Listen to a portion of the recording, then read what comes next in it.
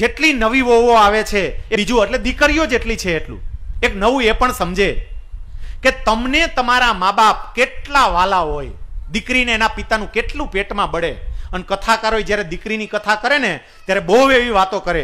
દીકરીને એનો, એના પિતા બહુ વાલા હોય, દીકરીને એની મા બહુ વાલી હોય પણ સાથે સાથે દરેક દીકરીઓ સમજો કે તમને તમારા મમ્મી અને પપ્પા જેટલા વાલા હોય ને, તમારા પતિને પણ એના મમ્મી અને પપ્પા એટલા જ વાલા હોય. મહેરબાની કરી તમારા પતિથી એના મમ્મી પપ્પાને છૂટા પાડવાનું પાપ ન કરો. આ પાપ કરીએ છીએ આપણે. નથી ફાવતું. બાપુજી જોડે નથી ફાવતું. બા જોડે નથી ફાવતું. તો ન ફાવે ભાઈ. બધાની સ્વતંત્રતા જોઈ એવી રીતે ના પરિવાર ટકે.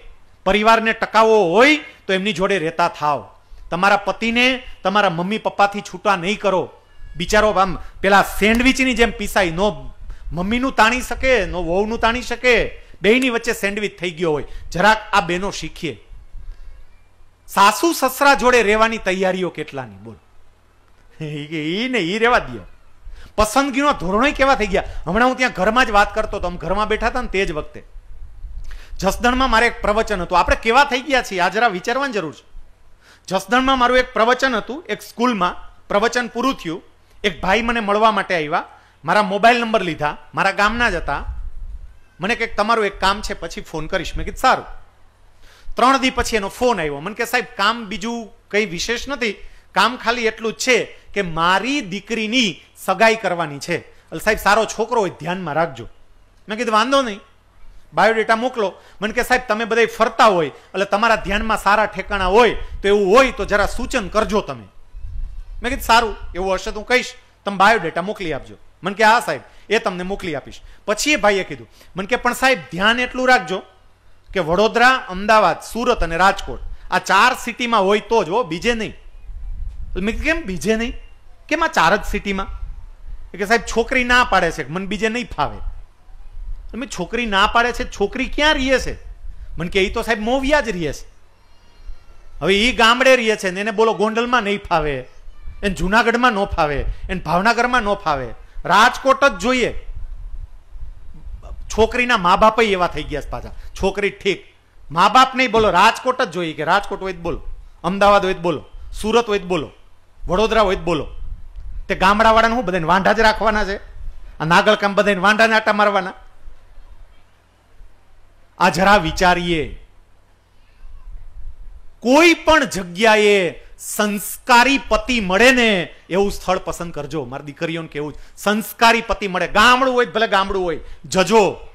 પણ સંસ્કારી પતિ મળે ને એવું સ્થળ પસંદ કરજો. મારે આજે આ જાહેર મંચથી કેવું છે કે જ્યારે મારી સગાઈ થઈ ને ઓગણીસો નવ્વાણુંમાં, મારી સગાઈ થઈ એ વખતે મારી પાસે કોઈ સરકારી નોકરી નહોતી. અત્યારે હું સિનિયર ક્લાસ વન અધિકારી છું. ક્લાસ વન નહીં સિનિયર ક્લાસ વન આ તો નાગલકામાં વિરડિયા પરિવારના પ્રેમને કારણે આવ્યો.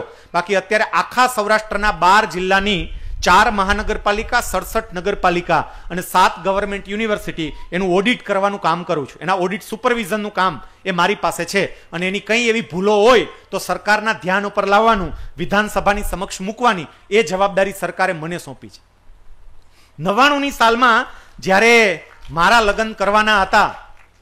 કોઈ જ સંપત્તિ નહીં, નોકરી નહીં, ટ્યુશન કરાવતો. ગામડે મોવિયા નરિયાવાળા મકાન હતા.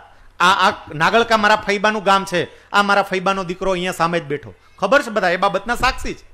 નળિયાવાળા મકાન. હું અહીંયા નાગળકા મારા ગામથી સાયકલ લઈને આવ્યાનો દાખલો છે. અહીંના પ્રસંગમાં છેક મોવિયાથી સાયકલ લઈને નાગળકા આવ્યો છે, મોવિયાથી. તો નળિયાવાળા મકાન હતા. ઢોર બાંધેલા હોય, ઘરમાં સંડાશય નહીં, આવી પરિસ્થિતિ હતી. અને મારા લગ્ન કરવાના હતા, સામે પક્ષે મારા સસરા એને બસો વીઘાની જમીન, આગળની બંને દીકરીઓને પરણાવેલી બે સારામાં સારું. આ સૌથી નાની દીકરી, સૌથી વધારે ભણેલી પાછી એમએ કરેલું. અને એમના લગ્ન કરવાના હતા, એમણે મારા પર પસંદગી ઉતારી. કારણ કે મંદિરે પ્રવચન કરતા ને એવી રીતે મને જોયો.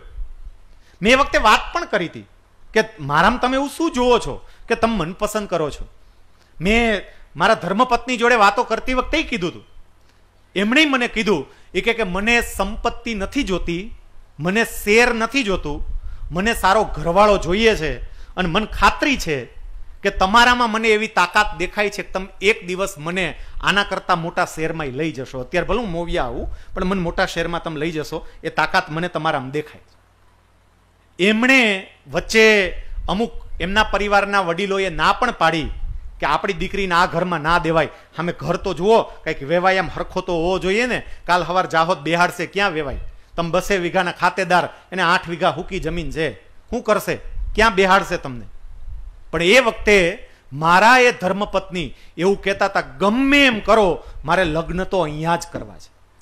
મારા સસરાએ પણ એમ જ કહ્યું કે, ના, આપણે આ જગ્યાએ લગ્ન કરવા જ મને એમના જે વિચારો છે ને, એમના વિચારોને વંદન કરવાની ઈચ્છા થાય છે. સસરા છેલ વખાણ નથી કરતો. આમાં ઘણી કહેજો હાહારાન વખાણ કરે એમ. હાહારાન વખાણ નથી કરતો. પણ મારે એ એવું છે કે પુરુષો તરીકે તમારી દીકરીનો હાથ કોઈના હાથમાં સોંપતી વખતે જરા આ વિચારજો. અને દીકરી તરીકે કોઈ પતિનો હાથ પકડતી વખતે જરા આ વિચારજો. દારૂડિયો આવી જાય ને, અમદાવાદનું મકાન બંગલો ફેક્ટરી બધું વેચાઈ જાય આ વિચારજો જરા. અમદાવાદમાં અમદાવાદમાં કે વય કેટલાય વયા ગયા છે. અને પછી છૂટું કરે, પાછી આવે. તો પહેલેથી ન બરોબર વિચારીએ. આ બધી બાબતો ઉપર હું એટલે બળતરા સાથે આ વાત મૂકી રહ્યો છું. બહુ વિચાર કરવા જેવી આ વાતો છે.